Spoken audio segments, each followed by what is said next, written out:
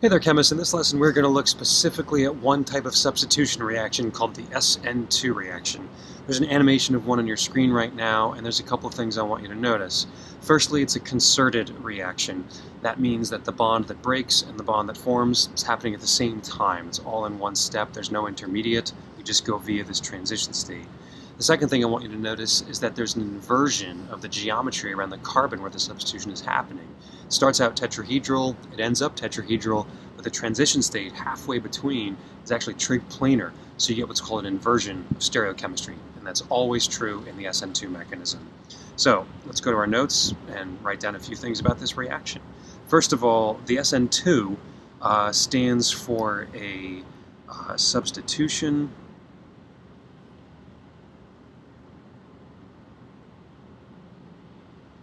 that is nucleophilic and bimolecular. And this is what we see with halides that are primary halides or methyl halides, very unsubstituted halides. So we're going to focus exclusively on those in this lesson. Uh, the example we just saw, I'll use it as a main example, was a cyanide ion. Here's what cyanide looks like, lone pair on the carbon, the nitrogen triple bond in between, and a formal charge on the carbon that's acting as our nucleophile, nuke. And our electrophile was bromomethane, which I'll draw out completely. That's our electrophile. And they turn into a transition state. That's what we saw, which I'm going to put in a pair of big square brackets where the cyanide starts to form a bond with the carbon undergoing substitution at the same time as the bromine is leaving. So you don't have an intermediate. That's not what this is. This is called a transition state. Transition state. And it's just the word we use to describe the species that's in between the reactant and the product. Uh, it's that high energy spot on a reaction energy diagram, which we'll draw in a second to illustrate this. Uh, this gave us our product,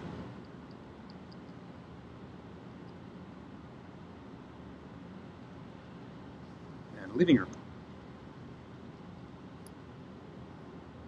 And just make a note that there is inversion. And it's this transition state that explains that inversion of stereochemistry. I can't tell in this example. That's not an asymmetric carbon. But if it was, we'd be able to see that inversion of stereochemistry. Okay, so we said that this was nucleophilic. That's why there's nucleophile coming in. This is a substitution reaction. What do we mean by bimolecular? Uh, bimolecular refers to the kinetics of this reaction so if we were studying the rate of this reaction, bimolecular means it depends on the concentration of both reactants. So the rate would be a rate constant, K, times the concentration of cyanide and bromomethane. Not all reactions depend on the concentration of each species, or the rate doesn't always depend on the concentration of everything, but bimolecular reactions depends on two things, and there's only two things in this reaction. Speaking of rates, that makes me think of energy diagrams. So let's look at an energy diagram for this and show why it's concerted. Remember, you can have some arbitrary place where your energy starts, and relative to that, it goes to some product energy. So there's reactants, there's products. I'm arbitrarily making this exothermic. I actually don't know if this reaction is endo or exo.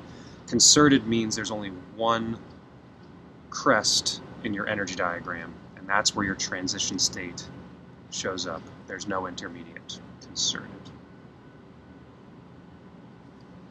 Okay, so that's an overview of the SN2 reaction. Let's look at some common things we see with this, uh, and then look at a few examples.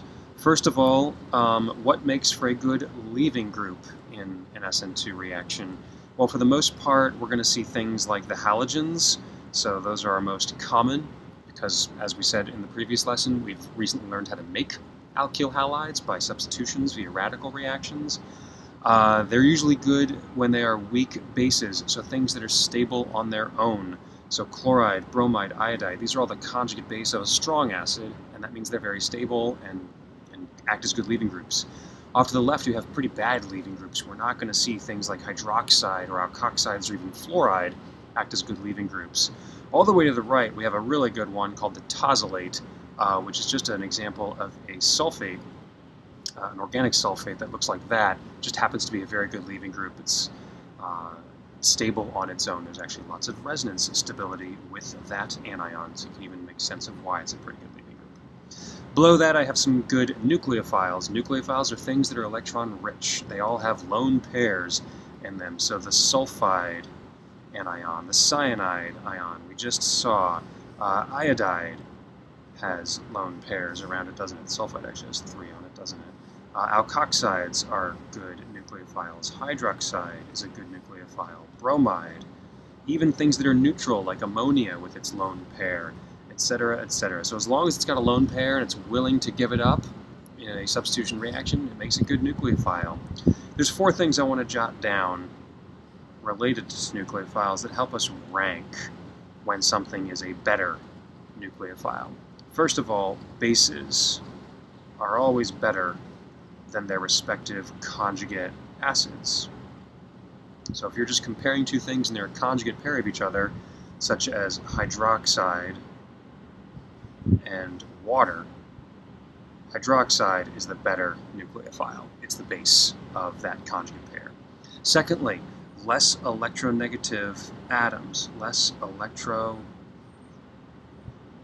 atoms. For example, bromide versus fluoride.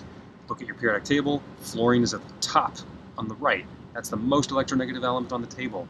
Bromine is a couple of rows down, so that is less electronegative, and it is therefore a better nucleophile. Remember what electronegativity means.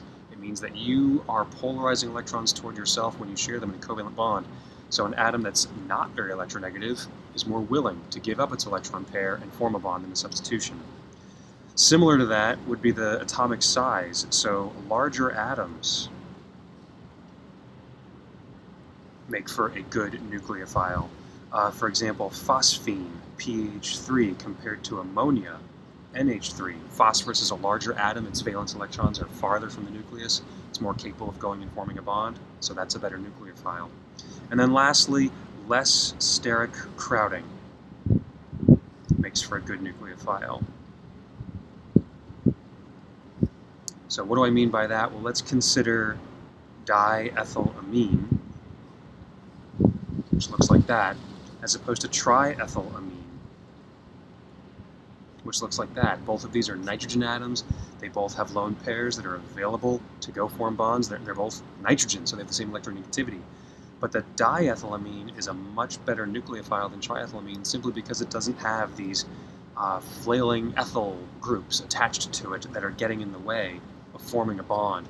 So triethylamine is a much better base uh, than acting as a nucleophile and attaching itself to something.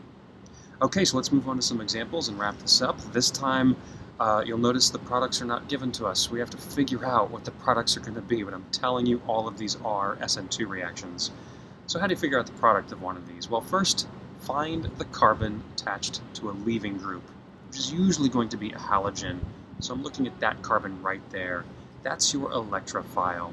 And specifically, that's your electrophilic position. Because that leaving group is pulling electron density away from it, that must mean the other molecule is your nucleophile. Where is it nucleophilic? The most electron-rich spot, all the lone pairs on that oxygen atom. Once you've identified where your electrophilic atom is, your nucleophilic atom is, draw an arrow from the nucleophilic atom to the electrophilic atom, and then show another arrow with the leaving group leaving, in this case from the carbon-bromine bond to the bromine itself and then I simply draw what my curved arrows show me took place in terms of what bond broke and what bond formed. Looks like I still have those two carbons attached to an oxygen, but now the oxygen is attached to another carbon on the other side, and then there's just a bromide floating around. So those are my products of that. You get an ether. You now know how to make an ether from the conjugate base of an alcohol. Right below it, let's do the same thing. Find the carbon attached to the leaving group, that's the molecule on the right, more electrophilic atom is the carbon itself. The nucleophile must be the other molecule. Where is it nucleophilic? The lone pairs on the nitrogen make me highlight the nitrogen atom. So draw an arrow from the nitrogen to the carbon. And then there's another arrow that shows the carbon-iodine bond breaking. And just get a free iodide ion. So what I have is this entire six-membered ring with a nitrogen in it. This is called a pyridine ring. And then the nitrogen is now attached to a CH3. All those hydrogens are along for the ride. Nothing changed in there. I have my iodide, and that looks good, but there's one other thing that's missing. If you look at that, there's now a formal charge on the nitrogen. Charge has to be balanced. Nitrogen 4 bonds and no lone pairs, it's a formal charge of plus 1. So those are some methyl halides, bromomethane and iodomethane. They work great in SN2 substitutions. Primary halides work just as well. They're very unster they're, very sterically roomy. They are not sterically crowded. Uh, so forming a bond with a carbon attached to a leaving group when it's primary is easy to do. So I look at uh, A, I find my leaving group, that's the electrophile. The electrophilic atom is the carbon attached to the bromine. That means that this other thing is my nucleophile. The most electron-rich spot would be the sulfur. Draw an arrow from the nucleophilic atom to the electrophilic atom. Draw another arrow showing the leaving group leave. Now I got to figure out what my products look like. So I have most of this molecule still intact. So I'm going to draw that part first, because most of that's the same. But now this carbon here is attached to my sulfur. So I have a new bond attached to a sulfur, and whatever was attached to the sulfur already is still there. There's an ethyl group. You made a sulfide, a sulfur version of an ether. And then I have a bromide as a leaving group. Eventually, we're not even going to draw the leaving group separately. It's inorganic. We're mostly concerned with just the organic product, the carbon-containing stuff. Last one, find the carbon attached to the leaving group. That's the first molecule, that's your electrophile, and there it is.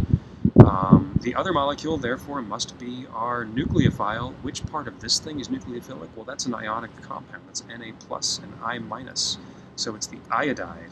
That's my nucleophile. So draw an arrow from the iodide to that carbon, and another arrow from the carbon to the chloride. That gives me, looks like, two, four, five carbons, one, two, three, four, five, now attached to an iodine. And then I have Na plus still floating around, and if you want, you can just coordinate it to the Cl. If you drew a curved arrow from this bond to the sodium, that's not necessarily correct because you don't actually form a covalent bond between those two species. It's an ionic bond, so just drawing it to the atom itself is, is a little bit better. All right, so those are some examples of the SN2 reaction, a little more details about the kinds of trends we'll see related to nucleophiles and leaving groups. And the key things to remember are that you get an inversion of stereochemistry, uh, which we haven't seen in any of these examples because none of these have asymmetric carbons. But if we look at this with a secondary, we'll see some inversions of stereochemistry. We'll get to that in future lessons.